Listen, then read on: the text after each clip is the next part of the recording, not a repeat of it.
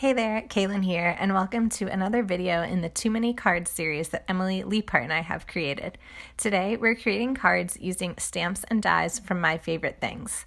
We're using the Mod Birds stamp set, the Sassy Pants Best Friends stamp set, and the Mod Birds coordinating die set. First, I'm going to die cut all of the shapes in the die set out of white cardstock. And I ran it through my die cutting machine twice just to get some extra flowers and leaves. Also, I knew I wanted to use just two of the birds in the set, so I only die cut the ones I was going to use. Now I'm going to stamp the outlines for each of those birds in black ink right on the die cut pieces. Of course, you could always do your stamping first and die cut later. Sometimes I just prefer to do it this way.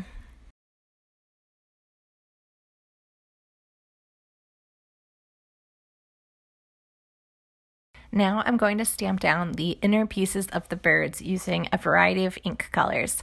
What makes the stamp set so unique is that the inside pieces purposefully don't align with the outlines, so it creates that fun and mod style of design that's just kind of free form and really gives movement to the illustrations. So I'm using some fresh peach ink from Hero Arts and I'm first going to stamp down just the tail of that bird in that color. And you could mask this off if you wanted to be really precise, but I just kind of um, stamped this section of the stamp that I wanted to down in the ink and I didn't find that I had problems with it overlapping. So there you can see I did the part around the eye and the neck of the bird also in fresh peach and then I just took some blue ink and put that down for the main body of the bird. Now I'm using some green tea ink to do the face of the second bird and you can see there I'm just kind of trying to ink up that one section and then just wiping off the part that got a little bit of ink on the tail section. And I'm just repeating that step to get a more saturated green color.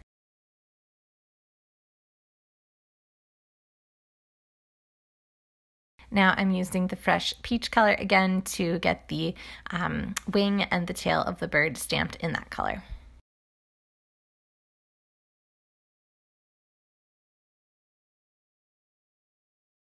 There are two different types of leaves in this stamp set, and I'm first doing this leaf that has two parts to it. So there's just a straight line die, and then there is the actual um, body of the leaf or the veins of the leaf if you're looking at it in reverse.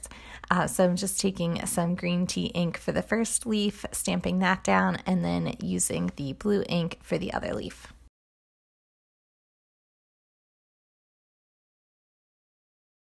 Now taking the shorter leaves in the stamp set and these come with the full outline as well as the stem.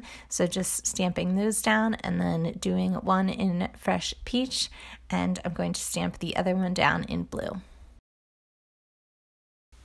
The set also comes with a two part flower, so I decided to stamp the main part down in fresh peach and then do a little bit of an accent, that inner part, um, in just some plain black ink.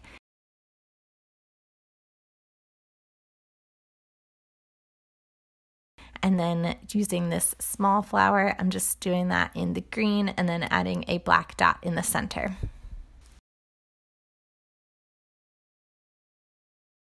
Now that I have all of my pieces stamped and die cut, I'm just sort of um, thinking about how they're going to be arranged on the card. And I decided I wanted to die cut a circle out of a piece of blue cardstock and that that was going to be the front of my card. And that I would have my die cut elements kind of peeking out from underneath it and then some layered on top.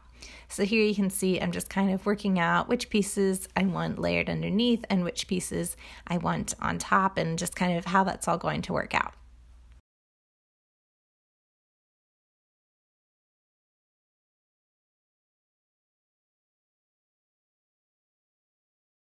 I knew I wanted to use the sentiment that says, You're my sidekick for life. I really thought that was a cute one. So I'm using my MISTI to stamp this down on that piece of blue cardstock that's going to be on the front of my card. And I did this mainly because this, this cardstock has a bit of a texture to it, it has like a slight grain. So I know that stamping on that type of cardstock can be difficult. So um, otherwise, I probably wouldn't have needed to use my MISTI for that, but it's really helpful in cases like this where you want to make sure that your stamping leaves a perfect impression.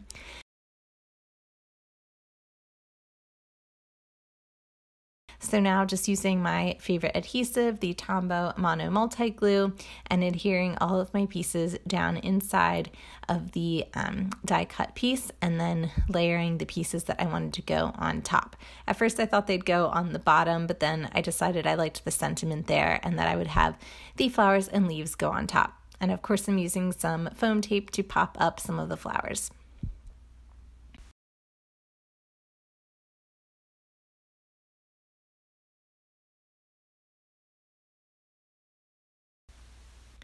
There's an extra little stamp that comes in this stamp set, and it's just kind of some polka dots. So I decided to add some texture into the plain white background. I would stamp that in the same color of blue ink I had been using, and that that just gave it a little bit of life and just some nice kind of variety in that blank space.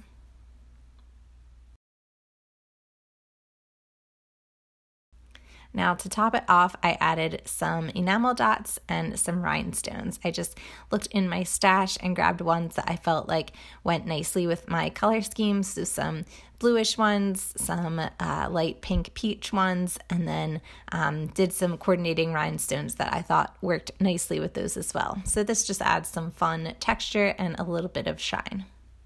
And that's going to finish up the card. I really hope you enjoyed creating along with me, and be sure to check out Emily's video to see how she created a project with these same My Favorite Things stamps and dies. Also, make sure you check out the description box below and leave a comment on this video for your chance to win a $25 gift card to My Favorite Things. Don't forget to subscribe to catch all of my latest craft videos and give this video a thumbs up if you enjoyed it. Thank you so much for watching.